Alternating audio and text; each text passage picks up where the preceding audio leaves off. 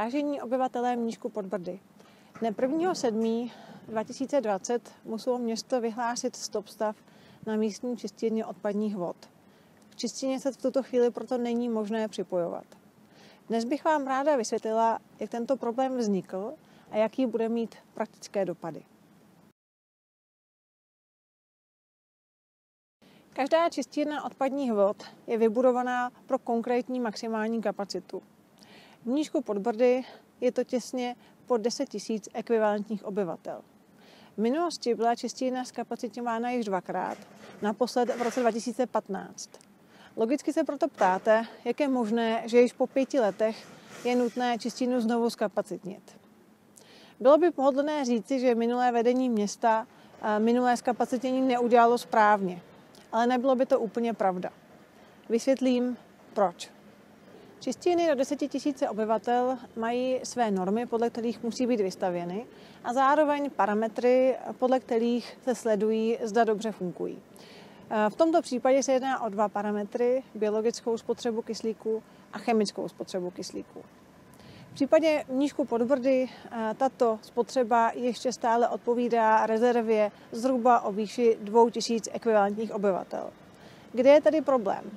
Chemické a biologické procesy v čistině odpadních vod jsou přímo ovlivněné složením odpadních vod. Ty se v průběhu čase mění podle toho, jak se daří obyvatelům v dané oblasti. A to je právě kámen úrazu. České státní normy byly stanovené zhruba před 30 lety, což znamená, že i tyto normy odpovídají stavu eh, a tomu, jak se dařilo obyvatelům před 30 lety. V dnešní době už je ale řada věcí jinak. Například poměrně prudce stoupá takzvaný celkový dusík v odpadních vodách. To je prvek, který vzniká rozkládáním bílkovin a tedy souvisí přímo s konzumací masa a dalších živočišných výrobků.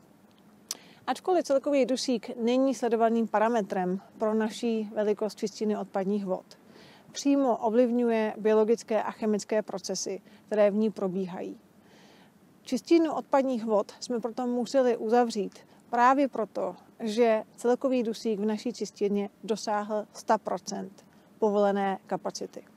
Současný stop stav na čistině odpadních vod je tedy opatřením za 5 minut 12, aby k takovému kolapsu nedošlo. A pokud se všichni hromadně nechceme v nížku stát vegetariány, bude nutné čistinu odpadních vod znovu zkapacitnit. Jak to bude dlouho trvat? To bude záležet na výsledku analýzy, eh, kterou město v minulých týdnech zadalo.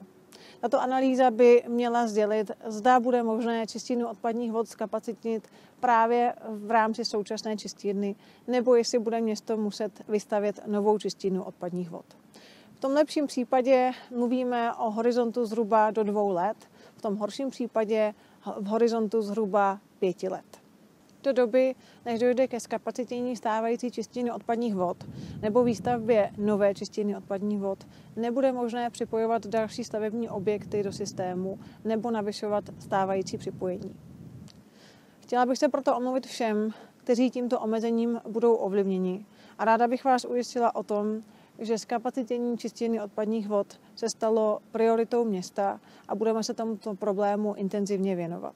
V případě nových informací, včetně výsledků zmíněné analýzy, vás budu ovšem samozřejmě informovat.